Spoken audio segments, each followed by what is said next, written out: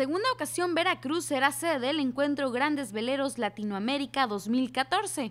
En el marco de la conmemoración del centenario de la gesta heroica del puerto de Veracruz, el gobernador Javier Duarte de Ochoa indicó que la finalidad de dicho evento es estrechar los lazos de amistad y camaradería entre diferentes naciones.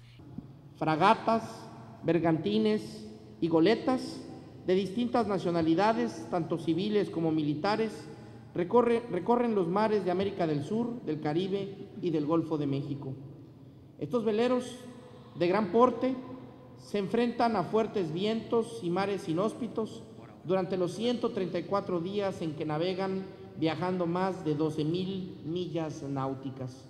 Grandes Veleros Latinoamérica 2014 tiene un especial significado para México y para el pueblo veracruzano. Del 18 al 23 de junio participarán los buques de diversos países, como Argentina, Chile, Colombia, Perú, Venezuela y por supuesto México. El buque Escuela Velero Cuauhtémoc, quien trae a bordo alrededor de 254 tripulantes. Esta regata inició el 11 de febrero en Itajai, Brasil. El buque Escuela Velero Cuauhtémoc zarpó del puerto de Acapulco el pasado 9 de abril para incorporarse en el puerto del Callao, Perú. El arribo y finalización de la regata Velas Latinoamérica se tiene previsto para el día 18 de junio próximo en el puerto de Veracruz.